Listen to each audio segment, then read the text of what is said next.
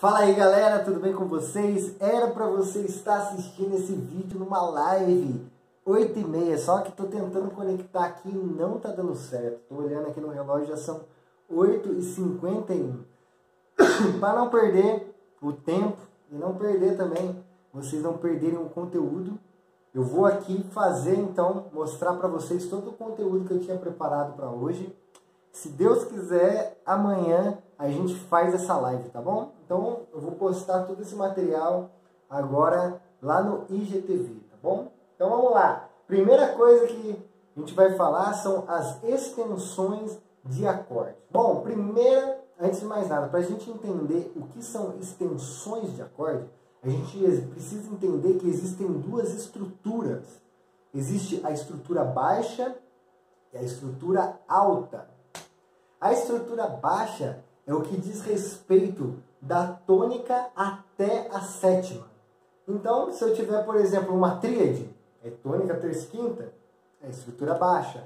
E se eu tiver uma tétrade, tônica, terça, quinta e sétima, é uma estrutura baixa também. Então, por exemplo, exemplos aqui como Dó sétima maior, estrutura baixa, Mi menor com sétima, estrutura baixa, Sol sustenido menor 7, estrutura baixa. Se eu pegar aqui, ó, Si bemol com sétima e quinta bemol, estrutura baixa. Mais um aqui, ó, Fá 7 sus, estrutura baixa. O último, Ré, meio diminuto.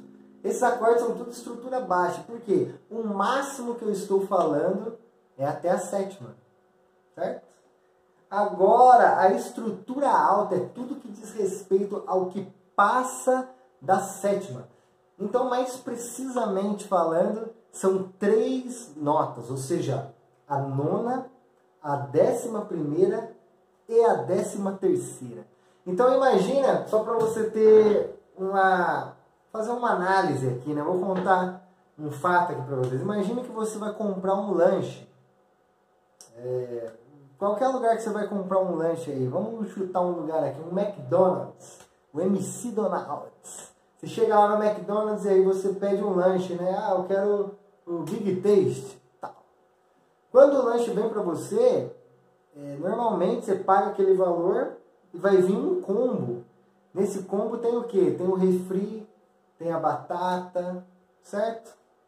Então, cá, todos os acordes, eles têm as suas notas de extensão, ou seja, a sua estrutura alta. E isso seriam os nossos combos, os nossos bônus, algo que a gente pode acrescentar que vai deixar o acorde bonito e não vai tirar a característica dele. É óbvio que para cada situação, cada gênero musical, existe também uma característica. Tem músicas que a gente evita colocar nonas para ficar uma coisa um pouco mais assim pop, né, digamos.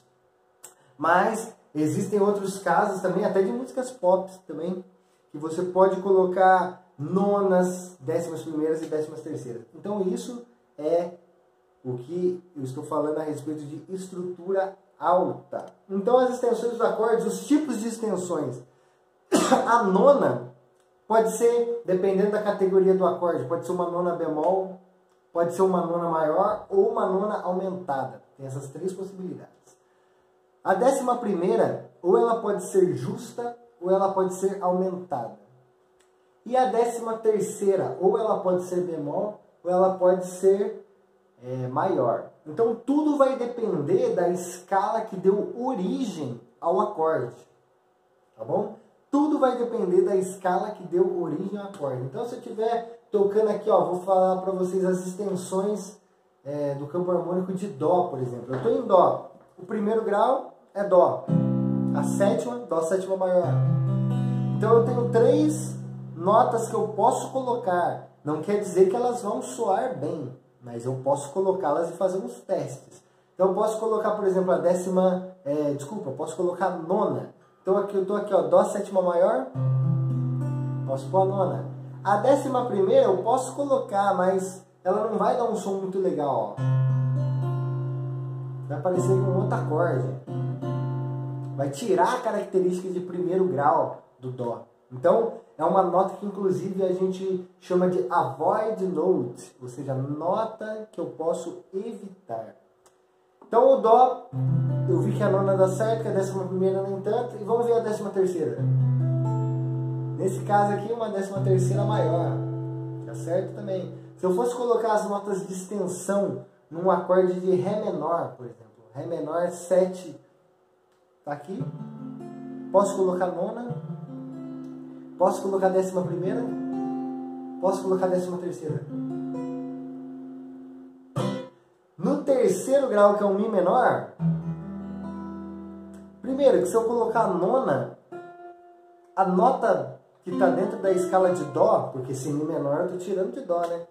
A nona vai ser a nota ou seja, vai ser uma nona bemol, nona menor. Então esse acorde aqui, em alguns contextos, ele fica legal. Mas nesse em especial...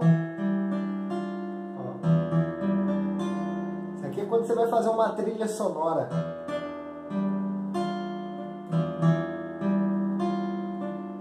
Aí você usa uns acordes assim meio doidos, né? Porque é uma sensação que você quer transmitir para aquela música, um sentimento né, que você quer colocar. Mas se você estiver tocando uma música tonal, você evita de colocar no terceiro grau, de colocar esse combo, entendeu? Colocar essa nona bemol. Você pode colocar a décima primeira, ó. Soa bem ela. A décima terceira, nesse caso, ela vai ter que ser bemol, que é a nota dó. Então, ó, ela vai soar como se fosse uma inversão, um dó com baixo mi. Então a gente também evita de usar essa nota para que o Mi menor não perca as suas características. Então, nesse caso, a única nota que a gente poderia adicionar é a décima primeira. Falando do quarto grau, eu posso ter a sétima maior, posso ter a nona. Então, ó, posso pôr a décima primeira, que nesse caso vai ser a décima primeira aumentada, que é a nota Si, porque eu tenho o Si natural com baixo no Fá, que ele vai soar como décima primeira aumentada. E a décima terceira também, ó. Então o quarto grau, ele está de parabéns, porque você pode colocar todas as notas de extensão que ele possui numa música tonal que vai soar bem. O quinto grau, geralmente a gente coloca aqui uma nona. Uma nona. Posso colocar? Posso colocar a décima primeira também. Esse acorde vai ser sus. Posso colocar a décima terceira também. Então esse grau aqui é legal que eu posso ou colocar a, a quarta justa, que no caso seria a décima primeira justa, né? Ou eu posso voltar para a terça. Só faltam dois acordes. O Lá menor. Posso colocar a nona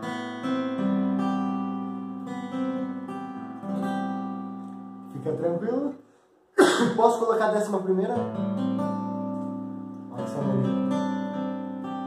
Que é a nota Ré. Se eu colocar a nota Fá, vai soar como se fosse um Fá com baixo em Lá. Olha isso. Então ele vai soar como se fosse uma inversão de outro acorde. Por isso é, a gente evita usar a décima terceira bemol, né, que é a extensão de Lá menor dentro de Dó maior justamente para não soar como uma inversão. E o último acorde dessa brincadeira seria aqui ó, o Si menor com sétima quinta bemol. E eu posso usar aqui a décima primeira justa e a décima terceira bemol no caso, né? Que vai dar um som bom. A décima a nona bemol, se eu colocar ela aquele contexto lá que eu falei, é mais um contexto de cinema, né? Imagina uma cena, sabe? Tudo escuro, né? Aquele medo de sair na rua. Então, para contextos como esse, é, fica muito legal esses acordes, né? Agora, para o contexto tonal, para músicas geralmente de igreja, músicas populares, não fica tão bom. Então, vou fazer um resumão aqui dessa primeira parte, que ficaria aqui, então, ó, extensões que soam bem, né? No primeiro grau, posso fazer esses. No segundo grau, posso fazer esse. No terceiro grau, só essa que deu para colocar legal. No quarto grau, nona, décima primeira aumentada, décima terceira maior. No quinto grau, nona, décima primeira, décima terceira também fica legal. Eu posso fazer essa brincadeira da quarta, né? Deixar a quarta justa e terça maior. Sexto grau, posso usar aqui ó, Lá menor, posso colocar nona e a décima primeira. Não usa a inversão aqui. Não uso essa nota décima terceira bemol para não soar como inversão. E por fim, se meio diminuto, eu posso tocar a décima primeira justa. Beleza, galera? Queria muito que a gente estivesse aí online, eu iria abrir para algumas perguntas. Mas estamos aí na caminhada, vai dar tudo certo. Vamos pegar o próximo tópico aqui então. Escalas outside e escala menor melódica. Bom, o que seria tocar outside? Tocar outside é quando você toca notas que não pertencem àquela escala. Então, por exemplo, se eu estou na escala de Dó maior, né? Toquei sete notas. Só existem 12, eu já toquei sete. Quantas que ficaram faltando? Mais cinco. Então, essas cinco notas, se eu tocá-las sobre Dó, eu estou tocando outside, eu estou tocando fora. Tem gente que já toca fora sem saber, né? tô brincando. Tá então agora você vai aprender como tocar um outside é, e não soar que você está tocando nota errada. Beleza? Vamos lá, mas antes vamos fazer uma pequena análise aqui, ó. Como eu falei, eu toquei as sete notas da escala de Dó. Dó, Ré, Mi, Fá, Sol, Lá, Si. Então eu toquei sete notas. Ficaram faltando quais? Dó sustenido, Ré sustenido, Fá sustenido, Sol sustenido e Lá sustenido. Se eu fosse observar, colocar, por exemplo, a primeira nota Ré sustenido e seguisse a mesma sequência, Ré sustenido, Fá sustenido, Sol sustenido, Lá sustenido e Dó sustenido, eu iria encontrar uma pentatônica. É a pentatônica de Ré sustenido menor. Então, por exemplo, essas cinco notas que estão fora da escala de Dó, elas formam uma outra escala. Elas formam a pentatônica de Ré sustenido menor. Por isso, se eu tocar, isso aqui é só um dos exemplos, existem mais possibilidades de se tocar outside. Mas, por exemplo, dentro de Dó com sétima maior, se eu tocar pentatônica de Ré sustenido menor, eu vou estar tocando outside. Então, um exemplo que é legal de você fazer, você sempre aplica o outside nos tempos fracos do compasso. Então, geralmente, a gente tem quatro tempos. Um, dois, três, um, dois, três, quatro. Geralmente o primeiro tempo ele é forte, o segundo é fraco, o terceiro é meio forte e o quarto é fraco. Então, geralmente, quando eu vou aplicar um outside, eu aplico eles pensando no terceiro e quarto tempo. Então, imagina aqui, ó, eu estou no Dó. Vou fazer uma tétrade de Mi menor aqui, ó.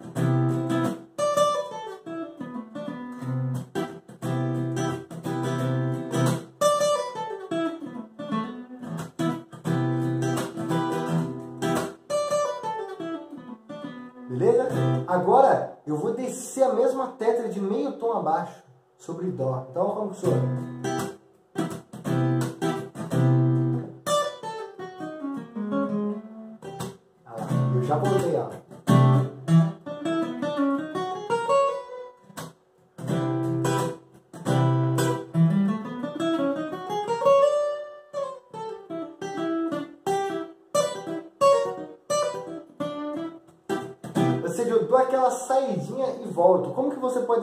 Isso de uma forma mais prática? Sabe quando você está tocando assim, ó?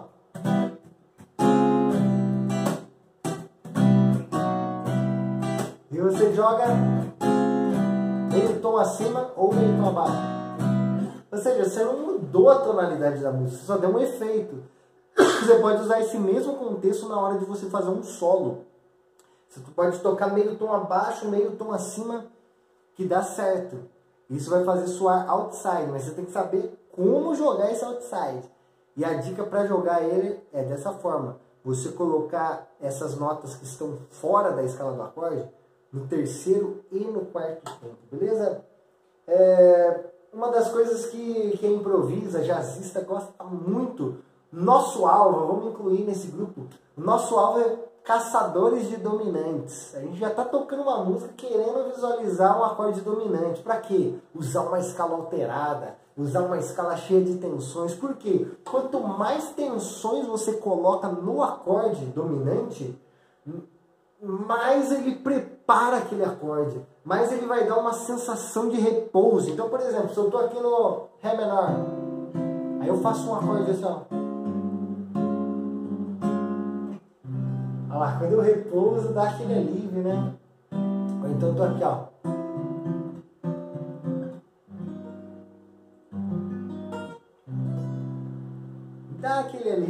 Então, uma das escalas que eu mais gosto de utilizar para enfatizar esse tipo de sonoridade se chama menor melódica. E a menor melódica, ela tem várias, vários pontos do acorde que você pode aplicar uma menor melódica. Mas em especial, aquele que gera mais tensão é quando você joga a escala menor melódica meio tom acima do acorde dominante. Então, vejamos a seguir aqui é, um exemplo aqui. Ó. Vamos pegar uma harmonia que eu tenho aqui, ó.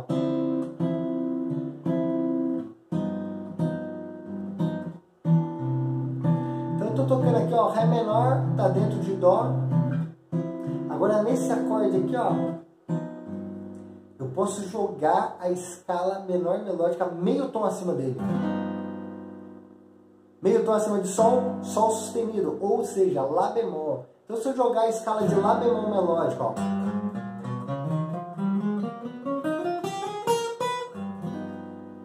sobre esse acorde dominante, no momento dele, eu vou ter uma sonoridade muito legal. É uma sonoridade que quem toca jazz curte demais. Vamos analisar então o que, que cada nota da menor melódica de Lá bemol representa, é, comparando com o acorde de Sol. Então eu tenho o Sol. A primeira nota da escala de Lá bemol, menor melódica, é o Lá bemol. Então o Lá bemol dentro do Sol é a nona bemol. Si bemol é a nona aumentada. Poderia ser a terça menor, né? Mas a gente chama de nona aumentada porque eu vou ter uma inarmonia aqui, ó. Se eu pegar a escala de Lá bemol, eu vou perceber que eu tenho um Dó bemol. Dó bemol é inarmônico a Si natural. Então, Si natural vai dar a terça maior do acorde. Então, Lá bemol, nona bemol, Si bemol, nona aumentada. Si natural, terça maior. Agora eu venho aqui, ó. Dó sustenido é a décima primeira aumentada. Mi bemol é a décima terceira bemol. Fá é a sétima menor. E por fim, Sol é a tônica. Então, por que, eu chamo um acorde de alterado? Porque esse acorde ele tem as nonas e as quintas alteradas. Toda vez que você vê um acorde que ele tem nona bemol ou ele tem nona é, aumentada. Ou ele tem quinta bemol, que oitava acima é igual a décima primeira aumentada. Ou ele tem quinta aumentada, que uma oitava acima é igual a décima terceira bemol. Esse acorde é alterado. Então temos algumas opções de acordes aqui alterados para você ver. Então se eu estou aqui, ó, tocando Ré menor, eu posso fazer Sol 7 nona bemol. Posso aplicar essa escala que dá certo. Vamos mais um exemplo aqui, ó. Ré menor, Sol 7 nona aumentada. Posso jogar essa escala que vai dar certo. Vamos mais um aqui, ó. Sol 7, décima primeira aumentada. Posso jogar menor melódica de Lá bemol que dá certo. Sol sétima com décima terceira bemol certo também. Agora a gente começa a misturar. Por exemplo, ó, vou colocar Sol 7, nona bemol e 11 mais. Agora vamos colocar aqui, ó, Sol 7, nona aumentada e 11 mais. Olha como que bonito. Bonito demais. Vamos lá. Nona bemol e décima terceira bemol. Bom, para fechar a tampa, Nona aumentada e décima terceira bemol.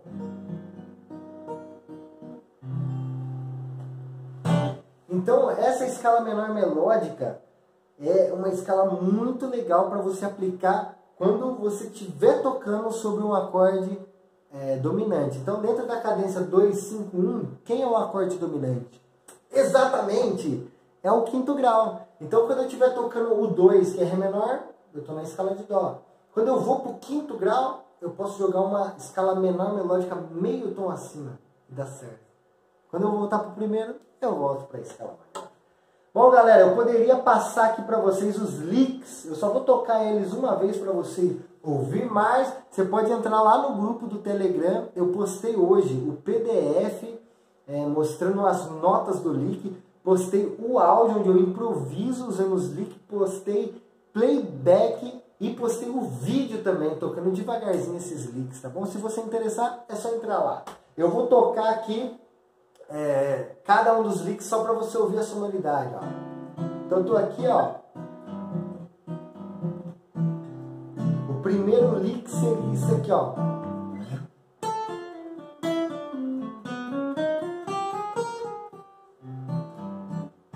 Vamos pro segundo.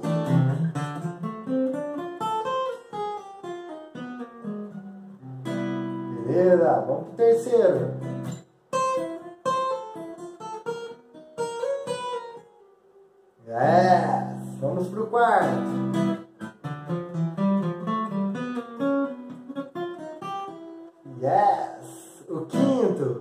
Seis, ó.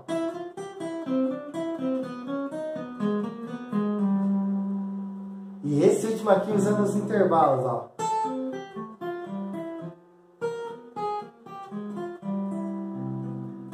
Mais uma vez, esse aqui merece, vai.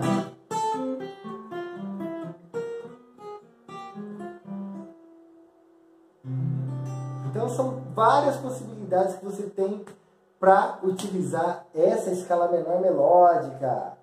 Várias músicas que eu vou improvisar, eu utilizo ela, beleza?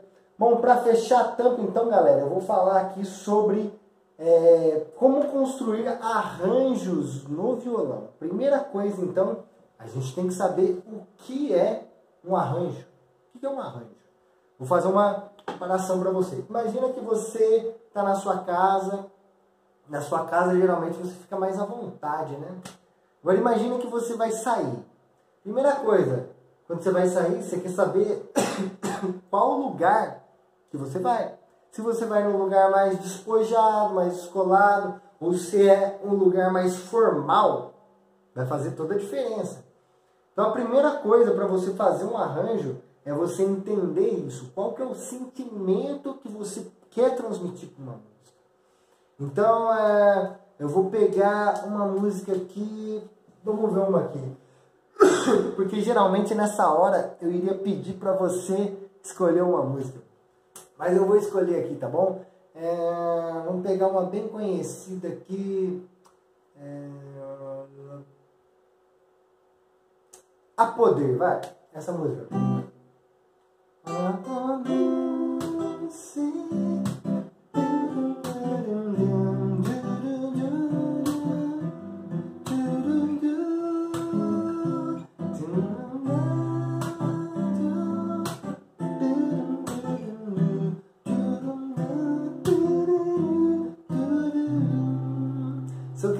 Coisa mais triste, mais sentimental, eu ia tocar essa música um pouco mais devagar. Ó.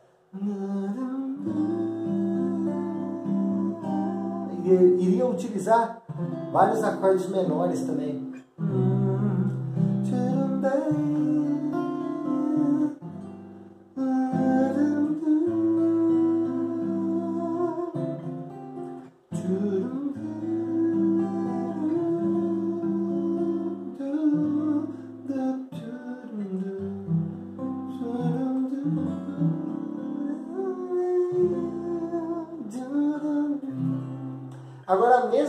Se eu quisesse tocar ela em algo mais alegre, né?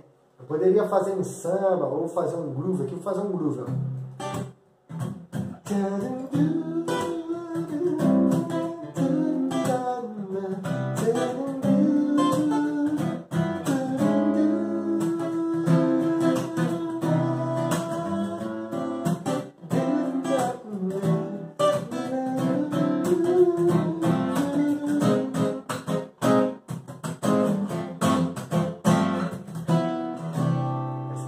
ou seja, o arranjo ele serve para você vestir a música. Você vai colocar uma roupagem nela. Então você pode até pegar músicas que estão bem antigas, que nem cantam atualmente, e dependendo da roupagem que você dá para essa música, a música volta a ter um frescor diferente, volta a ter uma vida novamente. Então, o conceito de arranjo, você vai pensar isso em grupos, em bandas, em orquestras. Agora, no violão, geralmente, quando a galera pergunta, faz esse tipo de pergunta, estão querendo se referir a você fazer o acompanhamento e a melodia juntos. Então, vou falar um pouquinho sobre isso. Isso se chama chord melody. Chord melody, então, é o nome da técnica que a gente utiliza para a gente poder colocar é, base e solo juntos, ou seja, fazer melodia, harmonia e ritmo de forma simultânea. É óbvio que não é um assunto raso, é um assunto muito profundo. Existem várias coisas que a gente precisa saber, mas hoje eu vou deixar um ponto para você é, estudar. Um exercício que você pode fazer para você desenvolver isso é o seguinte: tocar um acorde, por exemplo, do campo harmônico. Vou escolher aqui o acorde de Dó. E agora, na nota mais aguda do acorde, eu preciso deixar as notas que compõem a escala de Dó. Então a escala de Dó está aqui, ó. Foi mal. E agora o que, que eu vou fazer? Eu toco Dó. Agora a próxima nota é Ré. Agora a próxima é Mi. A próxima é Fá. A próxima é Sol. Próxima Lá. E a próxima Si. Então olha que você vai. Escuta com atenção que você vai escutar a escala de Dó.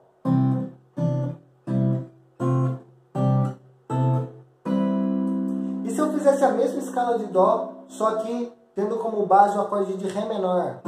Eu faria assim, ó.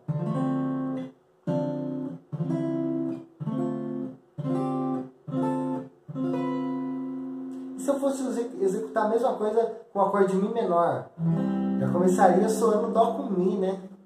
Mas olha como que soaria.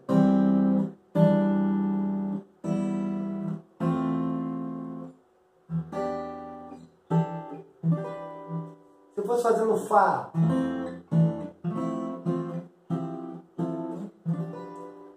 E se eu fosse fazendo Sol?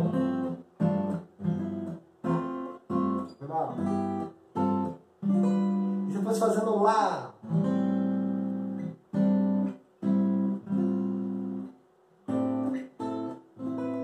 Por fim, no si meio diminuto. Então.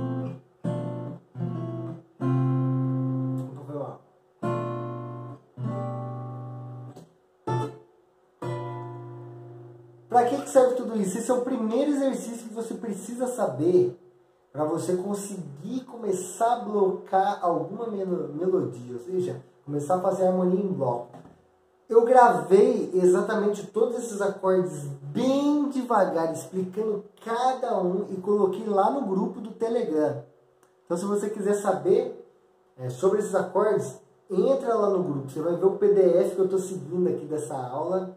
Você vai ver os vídeos também, onde eu estou mostrando passo a passo, devagar, como você começa a construir isso na sua forma de tocar. Então, é, vou pegar uma outra música aqui, ó, para eu fazer um bloco nela.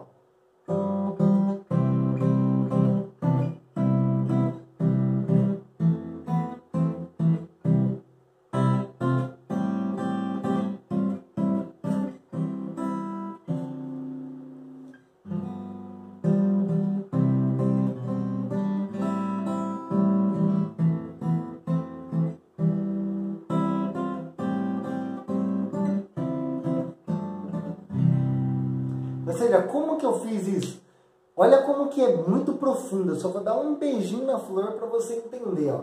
A melodia dessa música é um hino do Inário também, Plena Paz Santo Gozo. Olha isso aqui, ó.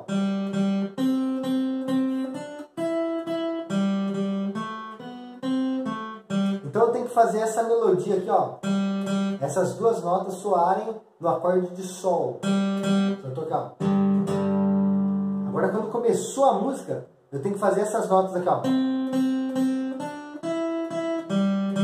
Soarem no acorde de Dó. Então, entra aquelas notas que eu te mostrei, ó. E assim por diante, galera. Vai acabar meu tempo aqui, mas foi massa essa aula que eu deixei aqui para vocês. Deus te abençoe cada dia mais. E amanhã, se Deus quiser, tem live pra gente, tá bom? Forte abraço. Vai acabar o tempo aqui do, da gravação. Fique com Deus. Deus te abençoe. Tamo juntos!